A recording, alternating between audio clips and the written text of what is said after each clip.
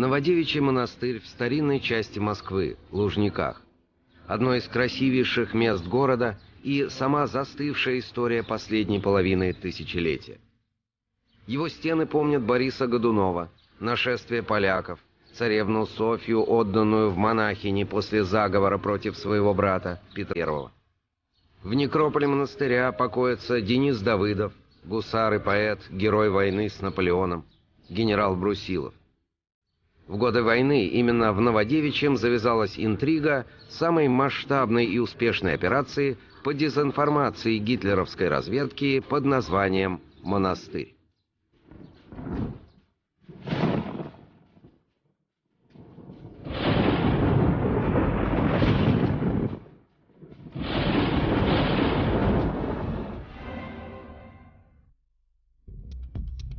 Вторая мировая сделала эфир и радио новейшими инструментами разведок. С 1941 года борьба советских и фашистских спецслужб приобрела невиданный размах. И в ней операция «Монастырь» заняла особое место. Ее главным содержанием стали радиоигры, особые контрразведывательные действия по дезинформации противника. Операция разрабатывалась с самого начала войны специальным управлением НКВД. Ею руководил Павел Судоплатов. Самой реальной опорой Сталина были чекисты, которые на тот момент, помимо выполнения своих э, основных заданий, еще фактически им э, э, вменили в обязанность широкомасштабное вот ведение военного партизанства, диверсий на оккупированных территориях. С этой целью была создана особая группа. Начальником ее стал комиссар госбезопасности Павел Анатольевич Судоплатов, э, молодой по тем временам, но уже успевший себя зарекомендовать э, в ряде литерных мероприятий, включая закордонную ликвидацию врагов народа.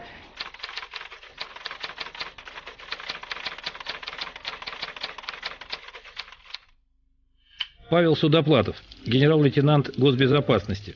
Родился в 1907 году на Украине – с 1941 года начальник 4 управления зафронтовых операций НКВД.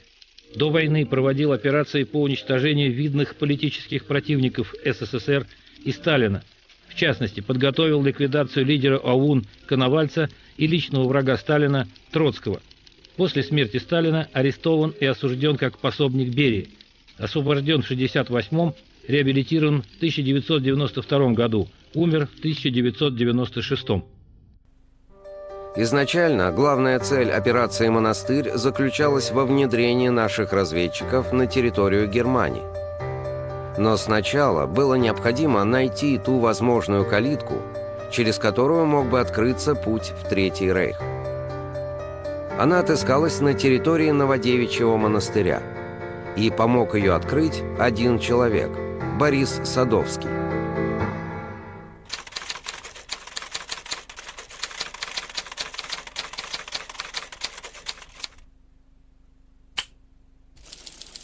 Борис Садовский, поэт, родился в 1881 году. Видный представитель Серебряного века русской поэзии, хорошо знал Брюсова и Блока. В середине жизни стал инвалидом из-за перенесенного сифилиса и интенсивного лечения ртутью. Собственную инвалидность и революцию воспринял как катастрофу. Пытался покончить жизнь самоубийством, но нашел спасение в религии. Ярый монархист и ненавистник советской власти – участник монархической организации «Престол», умер в 1952 году. Это был очень странный человек. Я уже сказал, он был действительно поэт, настоящий поэт, без всяких дуростей. Про-германский настрой. Это, кстати, его отличало от белой эмиграции. Потому что основная масса белой эмиграции, в том числе даже Антон Иванович Деникин, были против интервенции. Считали, что дело России должны разобраться сами русские в этих ее проблемах. Садовский бывал в Германии в прошлом и был известен немцам. С середины 20-х годов они вместе со второй женой ютились в подвале под алтарем Успенского собора Новодевичьего монастыря, превращенного в советскую коммуналку распоряжением Луначарского. К тому времени службы в монастыре прекратили, и Новодевичий превратился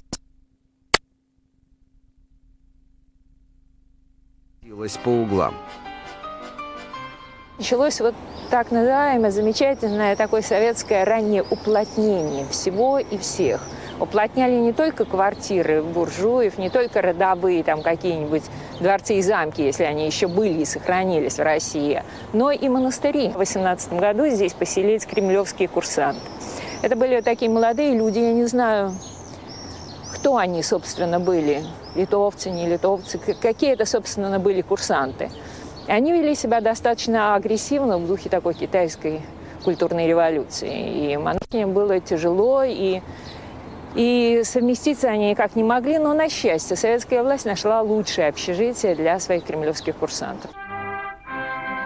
В стенах монастыря, кроме новых советских, нашли приют и так называемые «бывшие», дворяне, люди, близкие к императорскому двору, представители интеллигенции. Татлин здесь имел свои мастерские и здесь жил когда-то на колокольне Новодевичьего монастыря. И выселен был по суду за неуплату за жилье какой-то суммы, суммы денег. А, таким образом, здесь жили художники. Садовские жили нищенские. Может быть, чуть-чуть получше, чем настоящие нищенки, которых в монастыре и его окрестностях тогда обитало довольно много.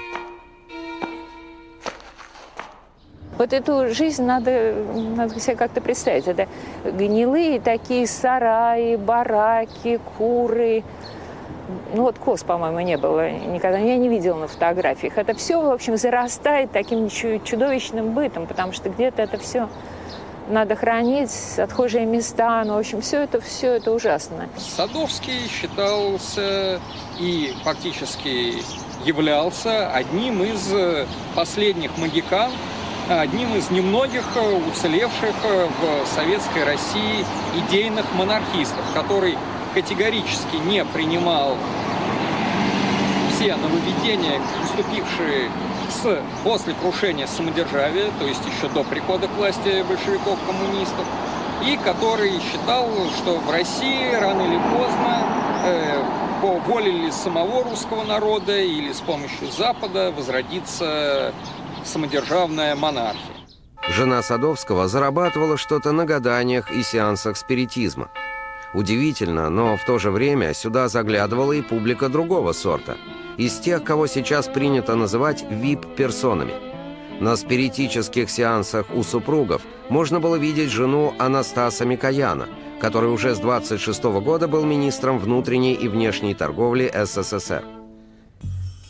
В разное время Садовский пытался создавать вокруг себя антисоветские кружки. Они были раскрыты, и хотя самого Садовского не трогали, око чекистов никогда не обделяло своим вниманием поэта-монархиста. Садовский фактически являлся той самой горящей лампадой, которой на манер мух летели его единомышленники и которая находилась все это время, естественно, под контролем спецслужб. Надо сказать, что это, опять же, не какой-либо новый принцип. Еще министр полиции времен Наполеона, хитроумный и циничный Фуше, сказал, что нет ничего проще, как, чем создать заговор. Достаточно взять одного идеалиста-фанатика, подвести к нему шпиона, добавить двух-трех дураков, одного-двух честолюбцев, и заговор готов. Ну, по тем же, опять же, принципам формировались э, э заговоры монархистов вокруг Садовского, как минимум в 30-х годах до 1941 года их было три. Упоминания о них сохранились э, в архивных э, делах, связанных с операцией «Монастырь». Ну, естественно, по мере того, как эти заговоры обрастали сказать, новыми людьми практически всех заговорщиков э, арестовывали, предавали советскому суду, ну а Садовского оставляли, что называется, на разживку для того, чтобы у чекистов и впредь была возможность таким образом и контролировать умонастроение, и выполнять план по розыску и арестам врагов народа. В общем, Садовский был для советской власти безобидным ворчуном. Немцы еще до войны верили в существование пятой колонны в Советском Союзе, и ее главной силой они считали монархистов. Это даже фиксировала официальная доктрина германской разведки. Силу русских монархистов поверил и сам Гитлер еще в 20-х годах, когда Германия стала чуть ли не главным их прибежищем. Сегодня мало известно, что один из русских монархистов, немец по происхождению Эрвин фон Шойбнер-Рихтер, встретившись с Гитлером, вступил в его партию и стал ее главным идеологом.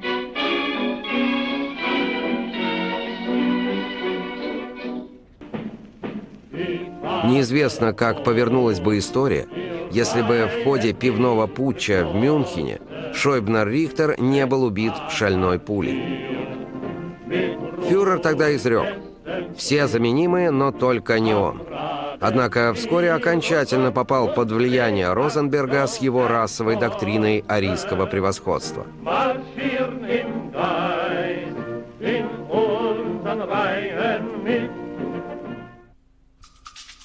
На Лубянке родился замысел пойти навстречу старым иллюзиям своего противника, дав ему то, что отвечало бы его ожиданиям. Идея заключалась в том, чтобы использовать в темную Садовского и некоторых его друзей с репутацией монархистов. Во внутренних документах НКВД план оформился в операцию «Монастырь». У того же Павла Анатольевича Судоплатова возникла такая идея. Основываясь на теоретических основах, заложенных Артуром Христиановичем Мартузовым, создать легендированную организацию в Москве – который якобы ждет немецкой интервенции. Идея создания подобных псевдоподпольных структур была не нова. По такой схеме еще в начале 20-х годов проводилась знаменитая чекистская операция «Трест». ОГПУ создала псевдомонархическую организацию во главе с подставным лицом, бывшим статским советником Якушевым. Когда ей поверили тузы белой эмиграции, Кутепов, великий князь Николай Николаевич, она привлекла в свои ряды многих действительных противников советской власти. МОЦАР или монархическая организация Центра России оказалась западней и позже была ликвидирована ОГПУ. Я бы сказал так, что это не просто преемственность. Это не просто продолжение методов, это просто на самом деле действие по шаблону, действие по схеме. И Судоплатов, кстати говоря, в этом отношении был просто учеником тех чекистов, э, при которых он начинал свою карьеру в органах госбезопасности. В июле 41-го была придумана ложная пронемецкая антисоветская организация с броским названием «Престол». С началом войны она якобы заняла прогерманскую ориентацию и начала поиск контактов с германским верховным командованием. Павел Судоплатов обратился к Берии за разрешением использовать сотрудника НКВД Александра Демьянова в качестве главной фигуры задуманной комбинации по проникновению в агентурную сеть Абвера.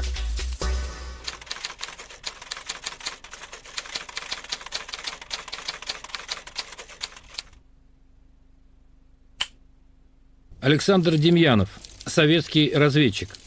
Родился в 1910 году из знатной казачьей семьи. Отец, офицер русской армии, умер от ран в 1915 году. Мать – дворянка, выпускница бестужевских курсов. Была хорошо известна кругам эмиграции в Берлине и Париже. Свободно владел немецким языком. Обладал светскими манерами и приятной внешностью. Завербован ОГПУ в начале 30-х годов – в операции «Монастырь» известен под псевдонимом Гейне. До войны Демьянов был известен в кругах творческой интеллигенции. Вместе с женой Татьяной работал на Мосфильме, и в их доме бывали многие известные люди. Почитатель музыки, спортсмен и библиофил. Последнее увлечение даже принесло ему неприятности в 1932 году. ОГПУ ненадолго арестовывало его – как сказано в личном деле Демьянова, по подозрению в организации коллективной читки мемуаров Шаляпина.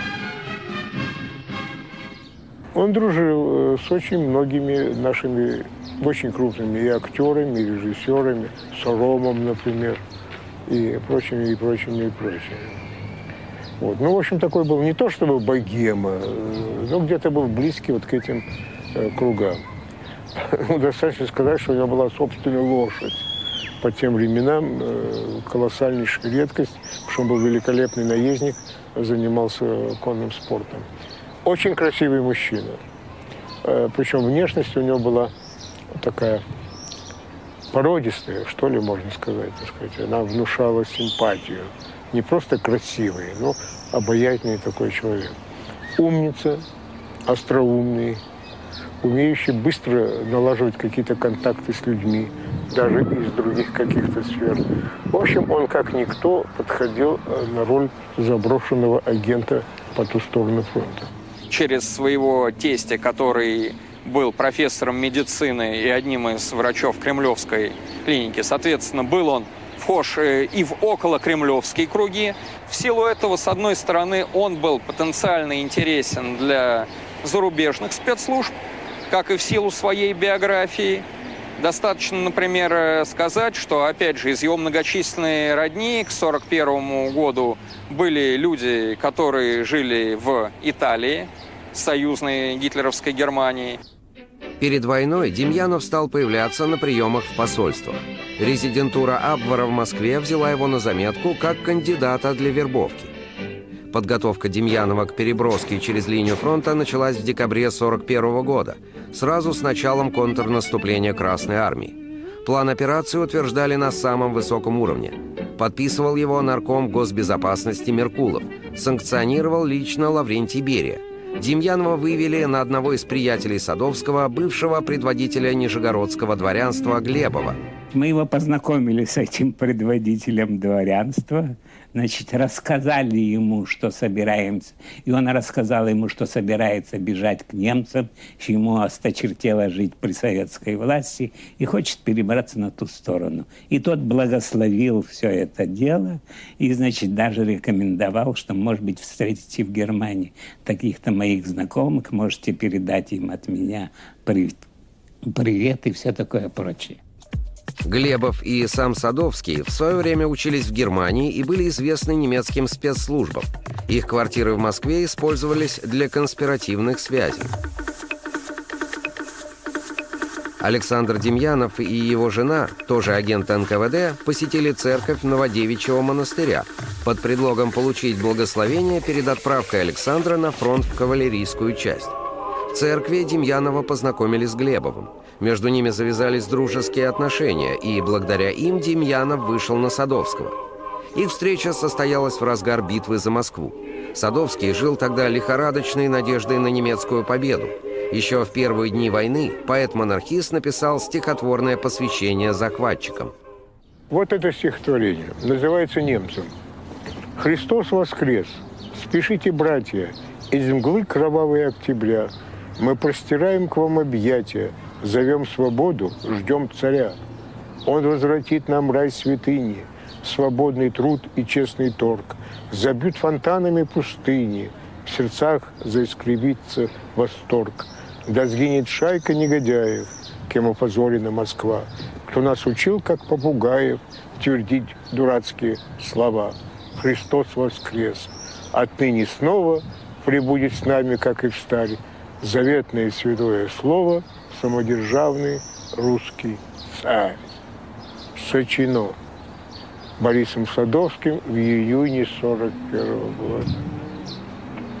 Абсолютная иллюзия, абсолютная антиреальность, и все, в общем-то, ясно. Конечно, немцам никакая самодержавная Русь не была нужна. В конце декабря 1941 года операция «Монастырь» вступила в свою активную фазу. Еще до заброски Демьянова за линию фронта на Лубянке проигрывали различные варианты развития операции.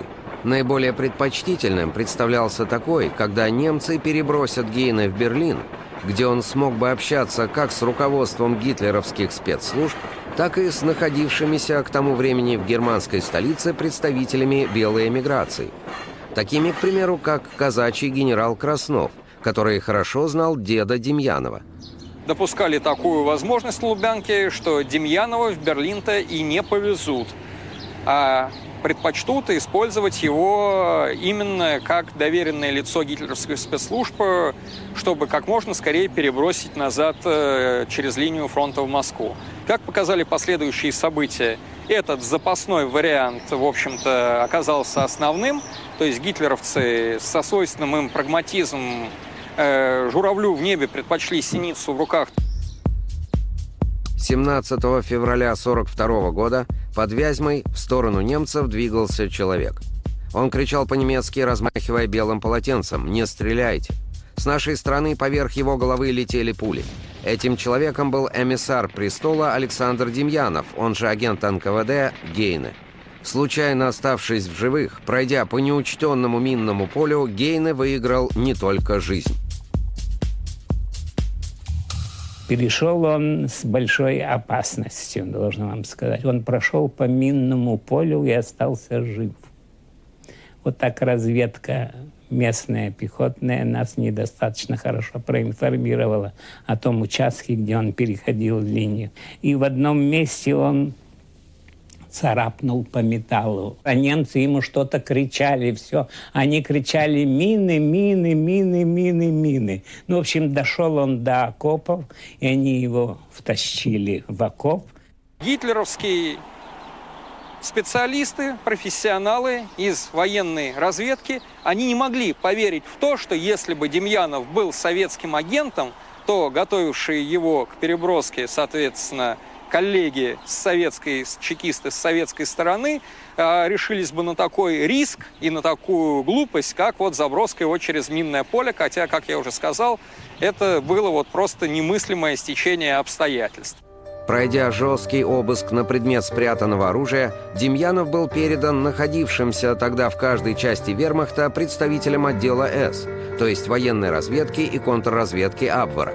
Они провели его первый допрос. Демьянов заявил, что является не просто перебежчиком, а идейным борцом против советской власти и потребовал связать с руководством. Его подвергли исключительной проверке. Исключительной проверке. Э, его ловили на каждом слове, допрашивали его много раз, инсценировали расстрел его. Если он признается и скажет, что он послан большевиками, то мы вас помилуем. Его просто подвели, подставили к стенке и держали там под дулами 10 минут. Но эти 10 минут, вероятно, стоили половины жизни ему, но он выдержал, сумел убедить то, что он не является засланным двойным агентом. И после этого его уже отвели в, тем, в теплый блиндаж, угостили его, налили ему водки, тут же с целью, так сказать, еще раз поймать на каких-то противоречиях, заставили в очередной раз рассказать свою историю и после этого отправили уже в Смоленск.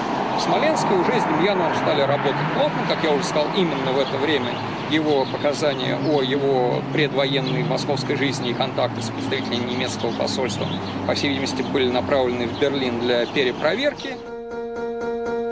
В итоге Демьянову фашисты поверили быстро – Наверное, сработали логичность легенды и личная выдержка.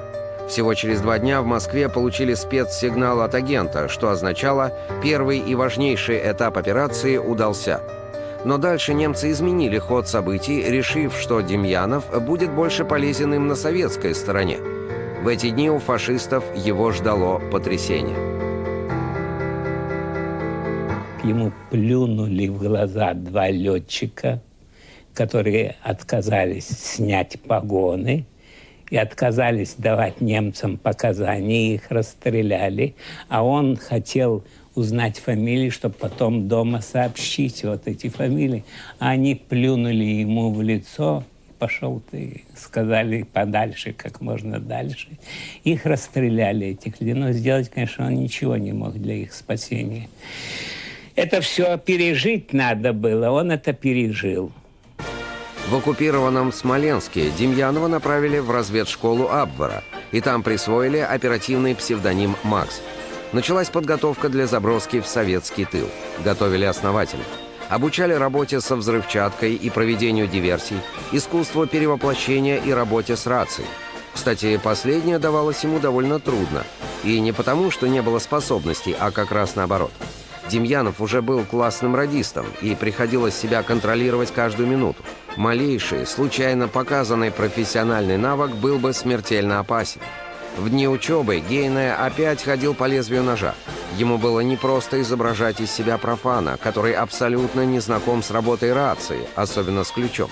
В спецшколе Абвера ему довелось сравнить наше и немецкое радиооборудование, которое было стандартным при проведении разведывательных и диверсионных операций за линией фронта.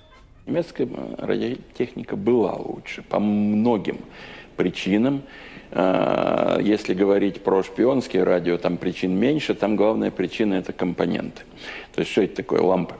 Представьте, значит, э, даже начать с того, что в век транзисторов у вас был транзистор, а у меня был транзисторный приемник, у меня ламповый. Соответственно, транзисторный был как э, три пачки сигарет, а ламповый был как две обувные коробки. У немцев был целый ряд радиоламп, специально разработанных для военных нужд. Это было в 1935 году. Э, они до сих пор называются радиолампы Вермахта. Общее название этих ламп было, может быть, там 90 разных типов. Вот. И они были очень компактные, они были очень э, высокого качества. Такими радиостанциями, это вот две эти вещи, это радиостанции уже, э, снабжались разведгруппы Абвера, которые забрасывались в Россию, в Советский Союз, за линию фронта. Э, захватывали, видимо, захватывали эти группы немало, потому что вот эти приемники R3, они встречаются до сих пор э, в России. Ну, если по, за линией фронта действовали разведгруппы с маленькими радиостанциями, сигналы у них были слабенькие, антенны у них были коротенькие, то принимали их немцы – значит, на радиоцентрах, где стояли очень чувствительные приемники, большие приемники, большие передатчики. Там не было ограничений. Им было главное принять слабый сигнал и очень громко передать, чтобы на плохую антенну шпион принял ответную информацию. 15 марта 1942 года в Ярославской области с военно-транспортного самолета «Юнкерс» десантировался агент Абвера «Макс», он же агент НКВД Гейны. При нем была рация, оружие и значительная сумма советских денег. Сразу после десантирования он попал в трагикомическую историю. Он рассказывает подробности, они у нас есть, как его сбрасывали с самолета, как он повис на деревьях в лесу, все такое, как Э, мальчишки его заметили, потом как он обратился э, в село, в сельсовет, и как бабы пришли в сельсовет с ножами и вилами, хотели учинить ему расправу, как немецкому шпиону, но все эти страсти ему удалось погасить. Он схватился за револьвер, а револьвера у не было, он выпал у него э, при прыжке с парашютом. Но, так сказать, такой жест немножко охладил пыл наседавших на него женщин. Но потом, наконец, согласился этот председатель совета и в сопровождении человека дал подводу добраться до районного центра. А там он попал уже в КГБ, и тут немедленно сообщили в Москву. За ним приехали, привезли его в Москву. Демьянов имел задание вести активную военно-политическую разведку, активизировать пацифистскую пропаганду среди населения, проводить диверсии и создавать ячейки в других городах. Через две недели после заброски кураторы Демьянова и Забвора получили первую шифрограмму. В ней сообщалось «Добрался благополучно, восстановил связи с единомышленниками по престолу. Подпись «Макс» чтобы не вызвать подозрений у гитлеровцев чрезмерным энтузиазмом, Демьянов в апреле в своей первой шифровке сказал, что следующую связь буду держать с вами через э, два месяца. Из боязни, что меня будут проверять вот в связи с отсутствием предыдущим в Москве. И действительно, через два месяца он восстановил радиосвязь на постоянной основе, и уже тогда ему стали приходить первые задания. Летом 42 года радиостанция Демьянова заработала на полную мощность. По легенде советской разведки, агент Абора Макс устроился на работу в наркомат путей сообщения. Ведь для немцев информация стратегического масштаба была важнее всего. В разведцентр и оттуда в Берлин полетели шифрограммы с якобы секретной информацией о том, куда перебрасываются советские резервы. Немцам начинало казаться, что они уже могут прогнозировать развитие обстановки на фронтах. Все радиограммы готовились в оперативном управлении Генштаба Красной Армии. затем утверждались в разведуправлении и передавались в службу Павла Судоплатова. При этом в Абвере были уверены, что наиболее ценная информация идет именно из генерального штаба. Иногда она эхом возвращалась в СССР, но уже через высшие политические круги союзников. Информация о том, что в генеральном штабе сидят какие-то немецкие э, агенты или лазутчики, а на самом деле дошла потом до советского руководства уже э, как э, круги на воде, как волны, которые отражаются от стенки и приходят снова. Уже Черчилль говорил Сталину, у вас там в генеральном штабе сидит э, немецкий человек. А руководители операции «Монастырь» легендировали и, собственно говоря, э, пытались создать немцам впечатление, что это Шапошников. То есть его заочно – что называется, в темную, включали в такую комбинацию. А что, если бы Сталин в какой-то момент, получив сигналы, например, уже от э, разведки э, через английские каналы, сказал, а что? Может быть, у нас действительно там сидит враг?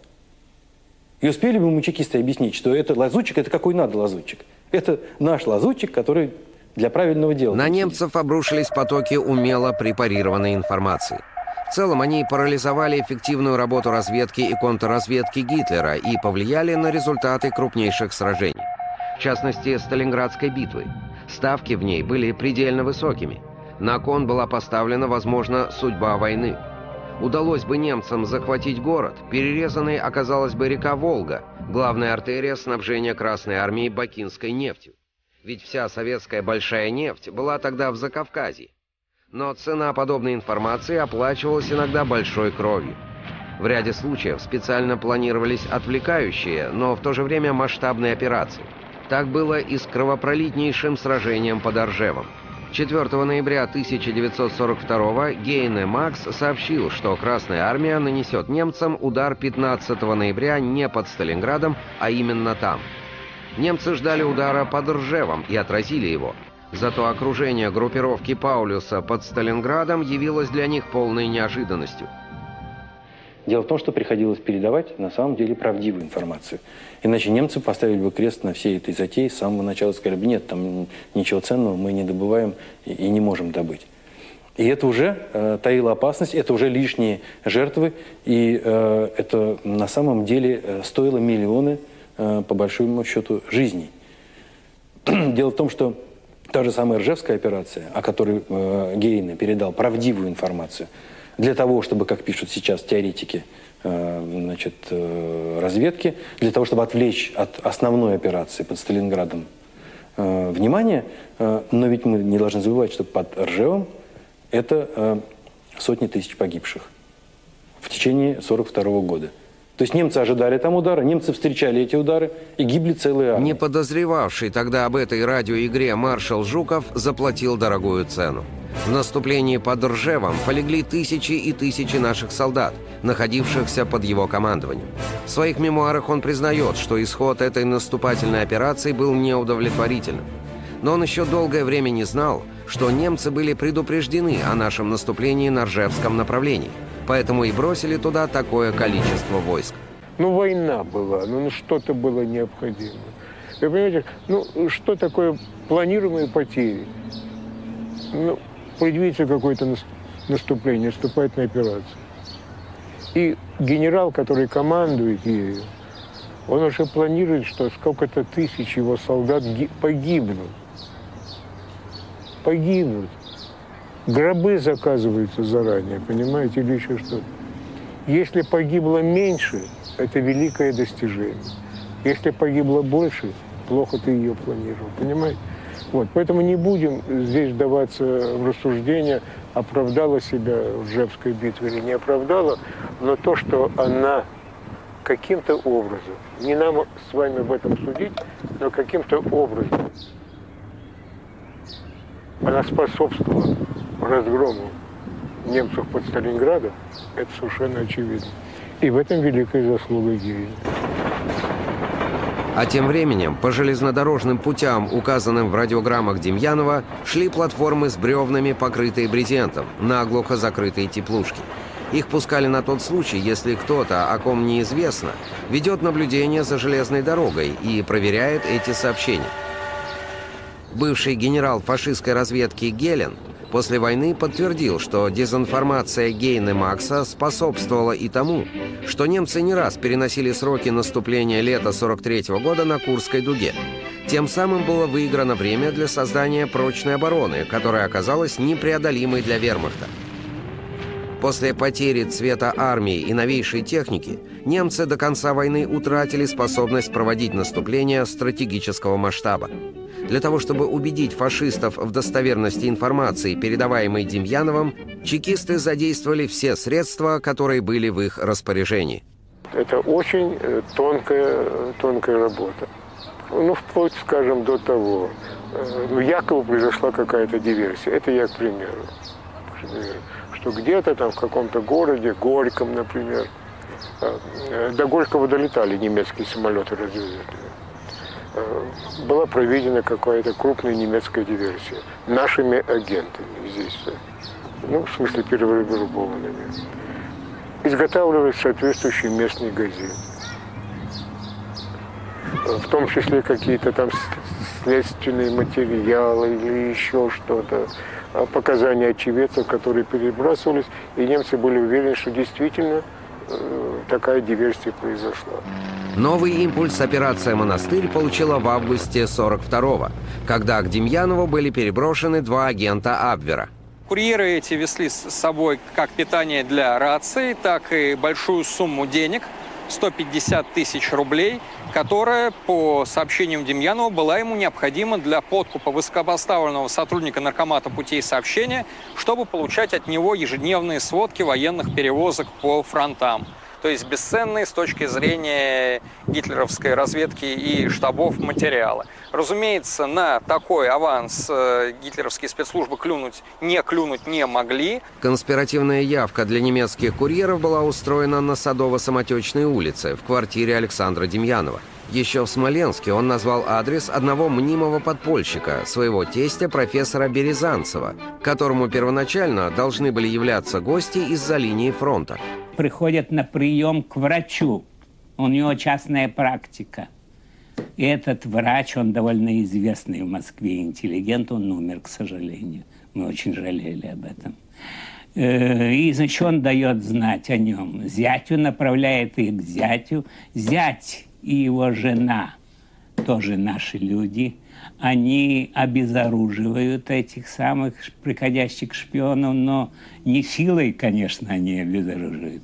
Они их накормят, напоят, подбавят кое-чего снотворного, они заснут после этого, боевые патроны, боевые гранаты меняются на холостые.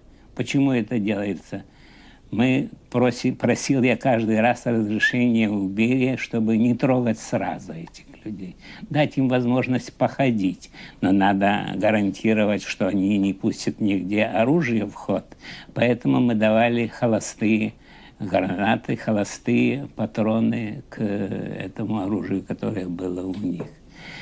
И так вот это продолжалось на протяжении э, нескольких лет. Подобным образом сотрудникам Судоплатова удалось выявить и обезвредить более 50 немецких агентов. Многие из них были перевербованы и, в конечном счете, из разных городов СССР от имени подпольной организации 12 радиостанций снабжали немцев качественной дезинформацией. Очень долгие годы достаточно объективные специалисты истории спецслужб Западной Германии – считали своими великими достижениями вот Макса и Морица. А это все тот же Демьян у Гейна. То есть они считали то, что им... Ну, не то, чтобы хотелось, они в это действительно верили. И для них, конечно, когда был рассекречен Демьянов, и они прочитали эти материалы, которые публиковались в нашей закрытой прессе, в полузакрытой прессе и так далее, было, конечно, колоссальным разочарованием. 44 год оказался для вермахта тем же, чем для Красной армии 41 Сплошные поражения и отходы. После летнего наступления в Белоруссии практически перестала существовать группа армий «Центр». В тылах советских войск оказывались огромные котлы с окруженными немецкими частями. Четвертому управлению Судоплатова Верховное командование и лично Сталин приказали вводить немецкое командование в заблуждение, создав впечатление активных действий в тылу Красной Армии остатков немецких войск, попавших якобы в окружение в ходе советского наступления. Замысел Сталина заключался в том, чтобы обманным путем заставить немцев использовать свои ресурсы на поддержку этих частей и помочь им сделать серьезную попытку прорвать окружение. Так операция «Монастырь» переросла в новую, под названием «Березинок». Это синоним огромной ловушки для фашистов. До самой капитуляции они верили в существование своих блуждающих частей и тратили для поддержки этих фантомов остро дефицитные ресурсы. Участие в этой операции принял и будущий знаменитый советский разведчик Рудольф Абель, сыгравший в ней одну из ключевых ролей.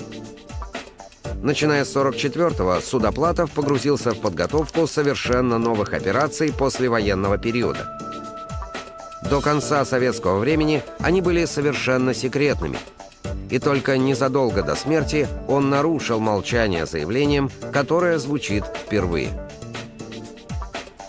Мы уже начали готовиться к другим задачам. Задачам диверсии и разведки – против Соединенных Штатов и Англии в тех пунктах, которые они создавали, операционных, оперативных пунктов для борьбы против Советского Союза. Начали подготовку, подбирали из числа военнопленных нужную агентуру. Мы большую работу вели в лагерях по отбору агентуры для будущей работы нашей в Германии и в других местах. Демьянов, он же Гейне, он же Макс, еще успешно работал против немцев в рамках операции «Березино» и был награжден как немецкой, так и советской сторонами, Железным крестом и Орденом Красного Знамени. После войны его решили внедрить в военно-политические сферы нового противника – англичан и американцев.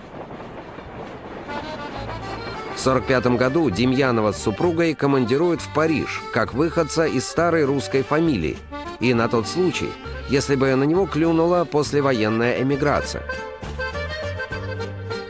На Лубянке надеялись, что полученные союзниками от немцев документы подтвердят, что Демьянов Макс действительно работал против Советского Союза. Генерал Гелен, создавший впоследствии в 1955 году разведывательную спецслужбу ФРГ, именуемую БНД, оно же ведомство Гелена. Так вот, он уже в 1945 году действительно передал информацию о Демьянове, э, представи... работавшим с ним в плену представителем э, британской разведслужбы СИС, она же Ми-6. Но, но, поскольку, как я уже говорил, британцы, в отличие от немцев, имели еще до войны опыт э, вот таких игр против советских спецслужб, они заподозрили неладное. Они заподозрили, что Демьянов на самом деле подставлен чекистами, и поэтому, когда он появился в 1945 году в Париже, то на него уже бывшие союзники, ставшие после войны противниками из числа британских и американских разведчиков, так и не вышли на него с какими-то предложениями. Демьянов вынужден был вернуться в Москву.